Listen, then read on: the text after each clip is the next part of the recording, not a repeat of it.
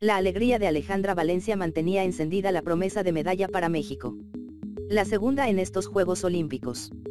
La mexicana lucía imparable en las rondas previas en el torneo de tiro con arco individual hasta que se topó con la estadounidense Mackenzie Brown.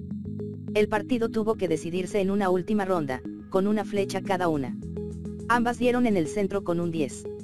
Los jueces tuvieron que dictaminar que flecha estaba más cerca del centro y, por centímetros, México se quedó fuera.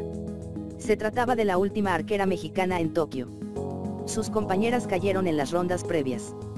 Ale Valencia hizo de su presentación en Tokio 2020 la gran alegría para México. Junto a Álvarez ganó la medalla de bronce en el equipo mixto. Fue el premio tras competir en sus terceros Juegos Olímpicos. La mexicana había tenido una gran fase de eliminación, la mexicana arrasó contra la francesa Lisa Barbelin en tres sets y con todas sus flechas en la zona amarilla de los mejores lanzamientos, el 9 y el 10.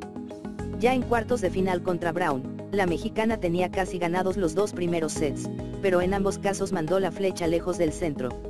El tercer set de Valencia fue perfecto con tres flechas al 10. En el cuarto set todo volvió a ser un empate, pero la mexicana tenía que ganar el siguiente para sentenciar todo. El viento y las flechas fueron caprichosas y volvió a ser un empate, es decir 5 a 5. En la flecha por desempate la estadounidense fue más precisa.